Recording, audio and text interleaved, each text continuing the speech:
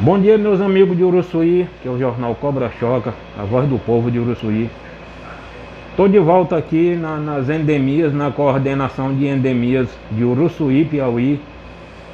Como o seu Nonato me disse que o veneno chegava hoje, aí eu vim ver se chegou. E ele vai apresentar para vocês o veneno que o Estado mandou para pulverizar o Uruçuí todinho. Bom dia, seu Nonato. Bom dia. O veneno que o senhor recebeu todinho, esse aí que está em Foi suas mãos e na mão do pau. O que me entregaram foi esse dois, litros de, de, de cipemetrina e esses dois pacotes de flu, flu, fludoral. É para pulverizar o Uruçuí É. todinho. É para acudir a necessidade do povo que estão com dengue e chikungunya em Uruçuí. Aqui era pra, é para abastecer o Uruçuí todo, né? Não dá para nós borrifar uma, 10 casas agora de tarde, né? Que a gente vai fazer esse trabalho hoje à tarde. Tá aí meu amigo Miguel, o senhor que quase me surra porque eu fiz aquela matéria, dizendo que eu não podia ter feito aquela matéria, porque esse veneno vem do Ministério da Saúde.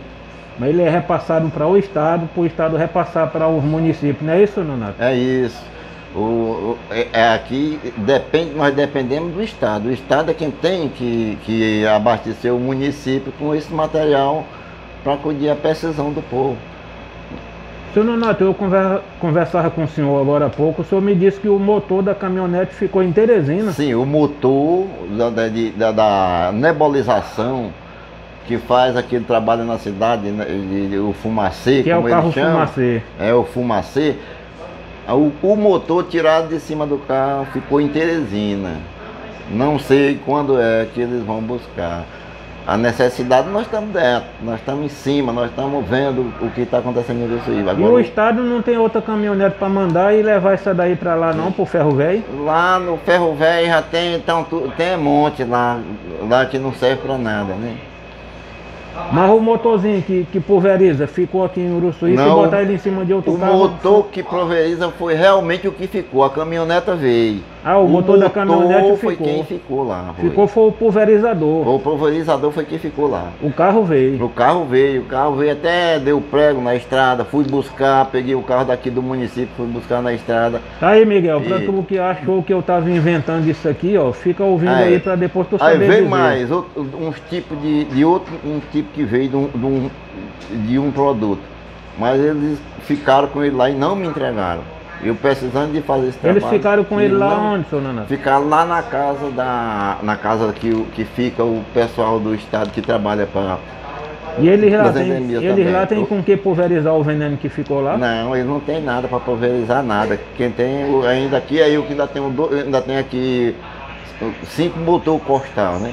Que a gente tem. Atenção promotor de justiça, eu passo aí esse problema para Vossa Excelência tomar uma providência.